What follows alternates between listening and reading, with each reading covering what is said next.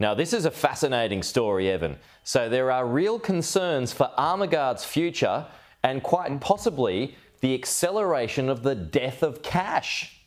Yeah, and this story is getting more and more, you know, shines because it's actually now becoming a real issue that could actually happen on Tuesday. So the hmm. reason I say that there is a currently an agreement or a guarantee between Lindsay Fox's Linfox service and Armaguard that guarantees its service to next Tuesday.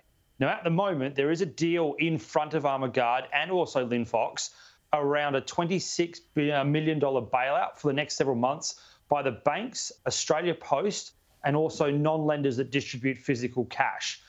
But that doesn't guarantee its long term future. The moment Linfox has not accepted that deal. So the reason that's so important is there is a now a chance that the distribution of physical cash could actually cease in the short term. It probably won't. I need to point that out there, but it probably hmm. won't. Mm.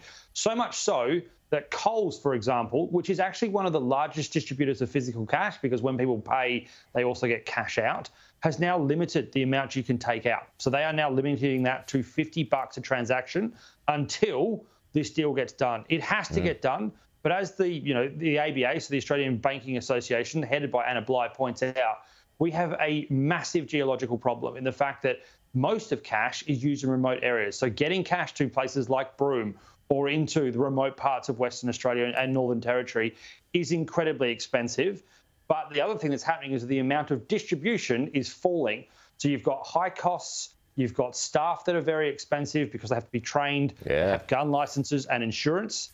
But the amount of actual deliveries is falling like a stone. So the business is becoming very, very unsustainable. And the question that everybody's asking is who ends up paying? Is it the banks? Is it Australia Post or is it the end user that has to pay the distribution costs to get cash to them? Fascinating. Evan, as always, thank you.